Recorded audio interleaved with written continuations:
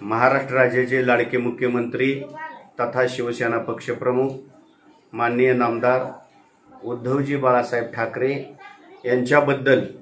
सोलापूर जिल्ह्याचे पालकमंत्री दत्तामामा भरणे यांनी वसुंधरा या कार्यक्रमाच्या ठिकाणी जे बेताल वक्तव्य केलं त्याबद्दल शिवसेना सोलापूर जिल्ह्याच्या वतीनं शिवसेना सोलापूर पंढरपूर विभागाच्या वतीनं तमाम शिवसैनिकाचा शिवसैनिकांच्या वतीनं या ठिकाणी मी पालकमंत्री दत्तामामा भरणे यांचा जाहीर निषेध करतो आणि याचबरोबर निर्वळेचा इशारा देतो की त्वरित माननीय नामदार उद्धवजी बाळासाहेब ठाकरे मुख्यमंत्री यांची त्वरित माफी मागावी. अन्यथा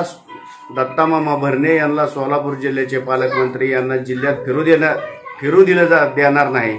असा इशारा ह्या निमित्ताने मी करीत आहे.